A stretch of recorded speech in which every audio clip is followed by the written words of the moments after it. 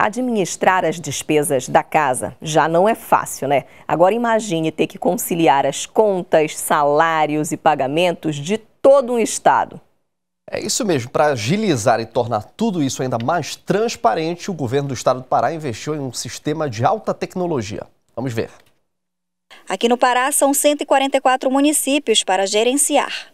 E para facilitar as contas e os orçamentos, o governo lançou o novo Sistema Integrado de Administração Financeira do Estado do Pará, CIAF.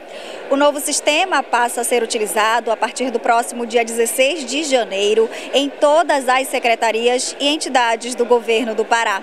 A plataforma começou a ser desenvolvida há quatro anos com o suporte de uma empresa canadense. Hoje significa que nós pegamos um sistema que vai ficar na vanguarda do país.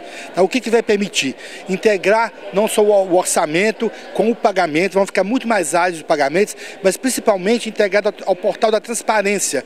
Os, os órgãos de fiscalização do Estado, Tribunal de Contas e a população vai poder ver com muito mais clareza para onde é que o dinheiro do Estado vai. Para a implantação do CIAF, os servidores públicos começaram a ser treinados em outubro do ano passado. Para os servidores, eh, eles vão conseguir trabalhar trabalhar uma forma mais é, dinâmica, né? Você consegue centralizar os processos desde o início do foco do planejamento, do orçamento, para execução orçamentária e até os pagamentos. A vice-governadora do Pará emitiu o primeiro documento eletrônico do sistema, uma nota de empenho da Casa Civil. Durante a cerimônia, os servidores que ajudaram no desenvolvimento do sistema foram homenageados.